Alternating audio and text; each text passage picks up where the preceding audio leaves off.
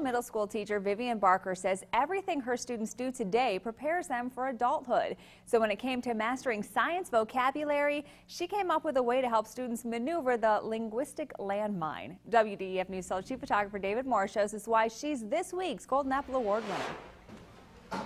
This is my eighth year teaching, um, and I've been here Jasper Middle School the entire duration of that time. Teaching was my second career. I love to see kids enjoy learning something new and to understand that they can see it at a different level. How can you use that with the moon?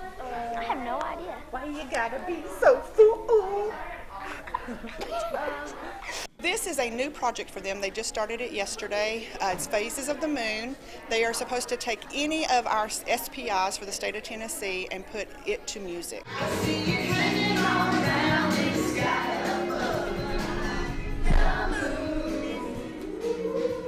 Sometimes they'll mix the songs and it helps you understand it more. They'll like make a moon face song with another song and it helps it understand more. Start and talk yourself through it. Because if you can explain it, then you know it. Why is this dark? Because the moon is like the sun out. The moon is blocking the sun out. It can make me have fun and also learn. So it's 10% awesome. Wait, no, 100% awesome.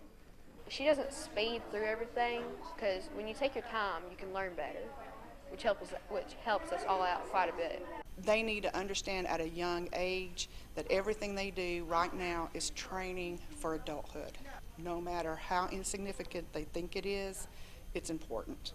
Whether it's homework, whether it's how they meet and greet a stranger, whether it's how they put their name on their paper and don't know how to capitalize, it's all training. Way to go, Mrs. Barker. If you know a special teacher, nominate him or her for a Golden Apple Award. Just fill out the fill out the form online and then tune in every other Tuesday to see if your teacher makes the grade. Well, three